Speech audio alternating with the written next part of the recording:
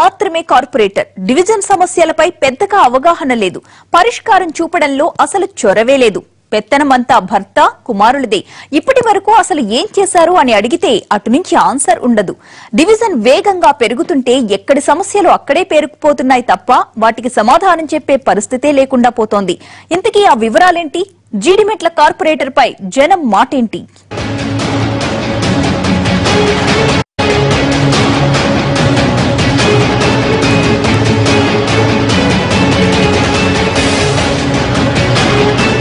గ్రేటర్లో division number నూట ముప్పై రెండు జీడిమెట్ల మొత్తం యాభై ఐదు వేల నాలుగు వందల అరవై ఒక్క మంది ఓటర్లు ఉండగా వీరిలో పురుష ఓటర్ల సంఖ్య ముప్పై ఒక్క వేల తొంభై ఆరు మంది కాగా మహిళా ఓటర్లు ఇరవై నాలుగు వేల మూడు వందల అరవై ఐదుగా ఉన్నారు. రెండు వేల పదహారులో జరిగిన కార్పొరేషన్ ఎన్నికల్లో టీడీపీ అభ్యర్థి సాత్విక రెడ్డిపై పోటీ చేసి మూడు వేల ఆరు వందల పద్నాలుగు ఓట్ల తేడాతో గెలిచారు కూన పద్మ ప్రతాప్ గౌడ్. కుత్బుల్లాపూర్ సర్కిల్లోని జీడిమెట్ల వ్యాపారపరంగా ఎంతో వేగంగా అభివృద్ధి చెందుతోంది. మల్టీప్లెక్స్లు అపార్ట్మెంట్లు భారీ హోటళ్ళు మాల్స్ పెద్ద ఎత్తున వెలుస్తున్నాయి ఇక్కడ. ఈ డివిజన్ పరిధిలో ఎన్నో కొత్త కాలనీలు ఏర్పడ్డాయి. కుత్బుల్లాపూర్ సర్కిల్లో ఎక్కడా లేని విధంగా గేటెడ్ కమ్యూనిటీ కాలనీలు ఎన్నో వెలిశాయి. జీడిమెట్ల డివిజన్ పరిధిలోని ఫ్యాక్స్ సాగర్ సమస్యాత్మకంగా మారింది. ఈ చెరువు చుట్టూ రాజకీయ జలగలు చేరి పీక్కు తినటంతో మొత్తం కబ్జాలకు కరిగిపోయింది. డివిజన్ ఎన్హెచ్ నలభై నాలుగుకి ఇరువైపులా ఉండటంతో డెవలప్మెంట్ అసాధారణంగా కనిపిస్తోంది. గతంలో ఈ ప్రాంతంలో టీడీపీకి పట్టుండేది. ప్రస్తుతం మాత్రం కారు జోరు మీద సాగుతోంది. ఈ డివిజన్పై తిరిగి పట్టు సాధించడానికి అన్ని పార్టీలు ప్రయత్నిస్తున్నాయి.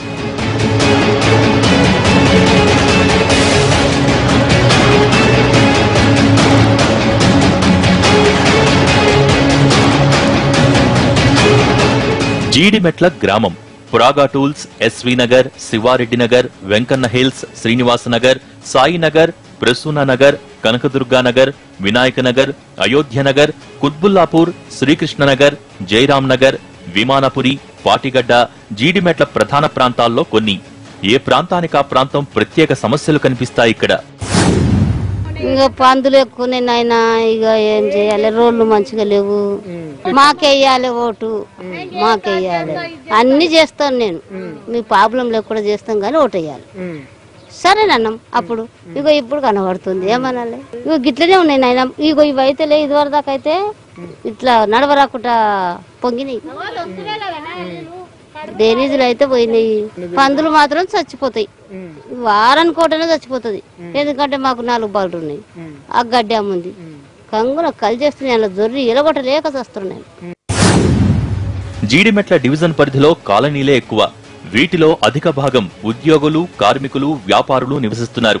కాలనీలతో పాటు వినాయక నగర్ అయోధ్య నగర్ జయరాం నగర్ పాటిగడ్డ లాంటి మురికివాడలు కూడా ఉన్నాయి. జీడిమెట్లకు దగ్గరలో ఉన్న ఫ్యాక్స్ సాగర్ నవాబుల కాలంలో మంచినీటిని అందించిన చరిత్ర ఉంది. ఈ చెరువు కింద వందలాది ఎకరాల పంట పండించారు ఈ పరిసర ప్రాంతాల్లోని రైతులు. అంతేకాదు జీడిమెట్ల దోలపల్లి కొంపల్లి ప్రాంతాలకు చెందిన జాలర్లు ఈ చెరువులో చేపలు పట్టి జీవించేవాళ్ళని తెలుస్తోంది. ఇదంతా గతం. వర్తమానం దారుణంగా ఉంది.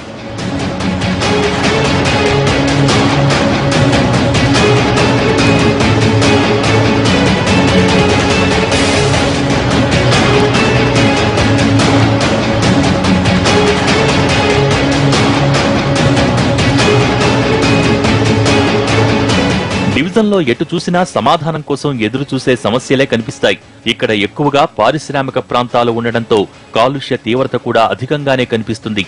రాత్రిపూట అత్యంత ప్రమాదకరమైన రసాయనాలు స్థానిక మురుగు కాలువలు డ్రైనేజీల్లోకి వదులుతూ ఉండడంతో తీవ్రంగా ఇబ్బంది పడుతున్నారు ఇక్కడి వారు. ఉన్న కష్టాలు చాలవన్నట్టు వర్షాలు పడ్డం ఆలస్యం. రోడ్లు చెరువులను తలపిస్తూ ఉంటాయి. ఇళ్ళ మధ్య నాలాలు ఉన్నాయా? లేక నాలాలపై ఇళ్ళు కట్టారా? అర్థం కాదు. దేశం నలుమూలల నుంచి వచ్చి ఏదో ఒక పరిశ్రమలో పనిచేసుకునే వాళ్ళు ఎటు చూసినా కనిపిస్తారిక్కడ. వీరంతా నాలాల పక్కన గుడిసెలు ఇతర నివాసాలను ఏర్పాటు చేసుకుని జీవనం సాగిస్తూ ఉంటారు. అంతేకాదు అనుమతులు లేని పరిశ్రమలు పుట్టగొడుగుల్లా వెలుస్తున్నాయి. కాలుష్య నియంత్రణ మండలి అధికారులు ఇటువైపున కన్నెత్తైనా చూడరు. ఇక్కడ వాటర్ మొత్తం వరద మొత్తం నిండిపోతుందన్న. మళ్ళీ ఇక్కడేమో పందిరే దొల్లేస్తున్నట్టు మొత్తం దేగల దోమలు కుట్టేస్తున్నాను. కరెంట్ లేక చాలా ఇబ్బంది పడుతున్నాం మూడు నెలలు కరెంట్ లేదు. మీకు ఇందులో వచ్చేదని చూస్తున్నాం ఆ, అది ఖాళీ వద్దండి అందుకని ఇది ఇబ్బంది అవుతుందండి మాకు. చాలా ఇబ్బంది అవుతుంది. ఆ మోరి ఏమో నిండిపోతుంది. అవతల మోరి నిండిపోతుంది. మున్సిపాలిటీ వాళ్ళు వచ్చినా కానీ ఇప్పుడు పర్లేదన్న బాగానే ఉంది. ఒకేసారి ఎప్పుడో ఒకసారి వస్తుంది. వర్షం వస్తే నిండిపోతుంది. అది పావులు వస్తున్నాను. ఇంతలో ఇంతలో ఇంత రోజు వస్తున్నాను వర. మొత్తం ఉండలో ఇబ్బంది అయిపోతున్నాను. ఇది మా కోరిక. మున్సిపాలిటీ వాళ్ళు చెప్పినా ఎన్ని ఎన్నిసార్లు చెప్పినా మాకు డబ్బులు వస్తే ఎంత కొంత మేము చేస్తాం అన్నారండి. మేము ఎక్కడి నుంచి వచ్చామని ఆ ఇంటి బాగుంటారేమో మేము ఎక్కడ దూరం ఉంటారండి. ఎక్కడ కుదిరేసండి మాకు. మేము పొద్దున్న పోయి సాయంత్రం వస్తాం. మేము డ్యూటీకి పోతామండి ఇది ఇబ్బంది మాది. ఆ, వర్షం వస్తేనేమో ఇక్కడ వచ్చే ఇక్కడ వరకు వాటర్ వచ్చేస్తుంది. మంచి ఆనందం చేయాలంటే ఇబ్బంది అయిపోతుంది. మూడు మాటలు ఫోన్ చేసినాం. ఆయన మున్సిపాలిటీ ఆయన చెప్పినాం పెద్ద నాయకుడు చెప్పినాం. ఎవరు రాలే. లేవంటారు బిల్లులు లేవంటారు. ఏం చేయాలి? ఇక. మొన్న బండి పడ్డది లేవట్టినాం. మొన్న పోరాడు పడ్డాడు ఓ సైకిల్ పడ్డది. డివిజన్ పరిధిలో ఉన్న చెరువు నానాటికి కుచించుకుపోతోంది. ఒకప్పుడు మంచినీటిని అందించిన ఈ చెరువు ఆలనా పాలనా లేకపోవడంతో అస్తవ్యస్తంగా మారింది. చెరువు శిఖం భూములు పూర్తిగా అన్యాక్రాంతమయ్యాయి. ఈ భూములను కబ్జా చేసిన వాళ్ళలో పేరు మోసిన వారితో పాటు చోటామోటా లీడర్ల వరకు ఉన్నారు. ఈ భూముల కబ్జాలను గుర్తించి కొన్ని అక్రమ కట్టడాలను కూల్చివేసినా ఇప్పటివరకు వీరి నుంచి భూములను స్వాధీనం చేసుకోలేదు. దీంతో విలువైన ప్రభుత్వ భూములు అన్యాక్రాంతమవుతూనే ఉన్నాయి. జీడిమెట్లలో కొన్ని కాలనీల్లో పారిశుద్ధ్యం పడకేసింది. రోడ్డుకు రెండు వైపులా రసాయన వ్యర్థాలు చెత్తా చెదారం వేయటంతో పరిసరాలన్నీ దుర్గంధం. కాలనీలు బస్తీలకు వెళ్ళే అంతర్గత రోడ్ల పరిస్థితి దారుణంగా తయారైంది. కనీసం అడుగు తీసివేయలేని దుర్భర పరిస్థితులు. ఆఖరున మంచినీరు కలుషితమవుతున్నా అధికారులు పట్టించుకోరు. కార్పొరేటర్ నుంచి స్పందన కరవు. డివిజన్ పరిధి ఎక్కువ కావటంతో జీహెచ్ఎంసీ సిబ్బంది ఎవరెక్కడ పనిచేస్తున్నారో అర్థం కాని దుస్థితి. డబుల్ బెడ్రూమ్ ఇళ్ళైతే అతీగతి లేదు. మా దాంట్లో మా డివిజన్లో చాలా పేదరిక వాళ్ళు ఉన్నారు. వాళ్ళకి డబుల్ బెడ్రూమ్ ఇస్తామన్నారు. మరి ఒక్కరి వాళ్ళ ఒక్కరికన్నా ఇద్దరు ముగ్గురు కన్నా కనీసం ఒకటి ఇచ్చే ఇచ్చేవాళ్ళు కాదు చేసేవాళ్ళు కాదు. చెప్పడం మాత్రం మాటలు మాత్రం బాగే ఉన్నాయి. బిల్డింగ్లు కట్టే వాళ్ళ తాను మరి పైసలు మాత్రం రుజువు చేసుకొని గుంజుకోవడం లాక్కోవడం తప్ప ఇంకా వేరే మార్గం మాత్రం వెతికే లేదా? దాని గురించి బిల్డింగ్లు ఎవరు ఏడ కడుతున్నారో ఆ వీటిని చూసి మరి ఏడ డబ్బులు తీసుకోవాలో అన్ని తెలుసు. కానీ ప్రజలకు మేము ఏం న్యాయం చేస్తున్నాం? ప్రజలకు ఏం హామీ ఇచ్చాం? ప్రజలకి ఈ రోడ్ల వల్ల ఎలాంటి ప్రాబ్లం ఎదుర్కోవాల్సి వస్తుంది అంటని చేసి ఏ ఏనాడు మాత్రం ఆ ప్రాబ్లమ్స్ సాల్వ్ చేయలేదు. డ్రైనేజ్లు ఒక్కటి కూడా నాలుగించి నాలుగించిన పైప్ లైన్ లేదు తప్ప డ్రైనేజ్లో ఒక్కటి కూడా ఎయిట్ ఇంచ్ వాళ్ళు పైపులు లేవు. అందులో ఎంత డ్రైనేజీలు కూడా ఆ బిల్లలు వేస్తే వారం రోజులు నెల రోజులు కూడా ఉన్నాయండి. నెల రోజులు కూడా ఉండవు. లారీ పెద్ద హెవీ లోడ్ రాగానే అది ఇరిగిపోవడం జరుగుతూ ఉంటుంది. మళ్ళీ మున్సిపల్ కంప్లైంట్ ఇస్తే ఒక పని కూడా ఒకరు చెప్తే ఆడ కంప్లైంట్ ఉంది ఈడ కంప్లైంట్ ఉంది అది మీద జరుగుతూ ఉంది.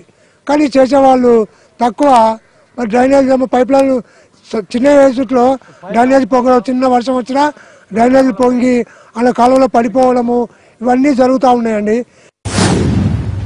డివిజన్ సమస్యలపై కార్పొరేటర్ సూచించిన పరిష్కారాలు ఎలా ఉన్నాయని ప్రశ్నిస్తే అటువైపు నుంచి సరైన సమాధానమే వినిపించలేదు. డివిజన్లో అభివృద్ధి కార్యక్రమాలు నిధుల రాకడా ఖర్చుల పోకడా వీటిపై మీ వివరణ ఏంటని అడిగితే నో ఆన్సర్. లక్షలాది రూపాయలతో యూజీడీ పనులు రోడ్ల మరమ్మతులు డ్రైనేజీ పనులు చేసినట్టు మాత్రం ఎలాగోలా చెప్పగలిగారు. కార్పొరేటర్ అవగాహన లేమికి గల కారణం ఆరాతీయగా తెలిసిందేంటంటే భర్త ప్రతాప్ కొడుకు విశాల్దే పెత్తనమని తెలిసింది. ఇదే విషయం కార్పొరేటర్ని ప్రశ్నించగా తన భర్త నియోజకవర్గ ఇన్ఛార్జి కాబట్టి అన్ని విషయాలు తెలుసునని అంతా ఆయనే చూసుకుంటారని అన్నారు. భర్తతో పాటు మిగిలిన పనులు కొడుకు విశాల్ గౌడ్ చూస్తున్నట్టు చెప్పారు. విశాల్ కేటీఆర్ ముఖ్య అనుచరుడుగా ఉంటూ రాజకీయంగా ఎదగటానికి ప్రయత్నిస్తున్నట్టు తెలుస్తోంది. దీంతో పద్మకంటూ సొంతంగా పనిచేసే అవకాశమే లేకుండా పోతోంది. నేను గెలిచిన నుండి ఎన్నో అభివృద్ధి పనులు చేశాము. ప్రతి కాలనీలో తిరిగి వాళ్ళ సమస్యలు తెలుసుకొని ఒక్కొక్కటిగా చేస్తూ యూజిడిబి యూజిడి పనులు మళ్ళా సీసీ రోడ్లు డ్రే అది వాటర్ లైను ఇలాంటివి ఎన్నో పనులు చేసుకుంటూ పోతున్నాము. దీంతో పాటుగా కేటీఆర్ ద్వారా మాట్లాడి ఇక్కడ వెన్నెలగడ్డ చెరువును మినీ ట్యాంక్ బర్డ్గా చేయాలని సంకల్పించి వా వాళ్ళ వారి ద్వారా three crores three point eight crores మనీతోటి పని స్టార్ట్ చేశాము అవుతూ ఉంది. ఇంకా ఇలాంటివి ఎన్నో అభివృద్ధి పనులు చేస్తున్నాము. ఇంకా ఏదన్నా సమస్య వచ్చిందని ప్రజలు మా వరకు వస్తే మేము ఆ- ఆ ఏరియాకు పోయి చూసి వాటిని పరిష్కరిస్తున్నాము. మహిళలకు అధికారంలో అర్ధభాగం ఇవ్వాలన్నది ప్రభుత్వ ఆలోచన.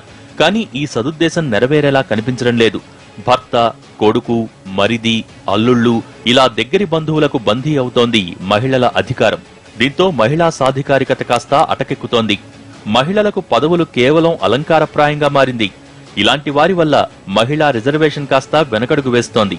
కాబట్టి ఇకనైనా మహిళలు వివిధ కారణాలను చూపి తమ భర్త ఇతర బంధువులకు తమ అధికారాలను అప్పగించరాదని ఆశిద్దాం. ఇటు జీహెచ్ఎంసీ అటు ప్రభుత్వం ఆలోచన కూడా ఇదే. కాబట్టి ఇకనైనా మహిళా కార్పొరేటర్లు ఈ విషయం గుర్తించాలని కోరుకుందాం.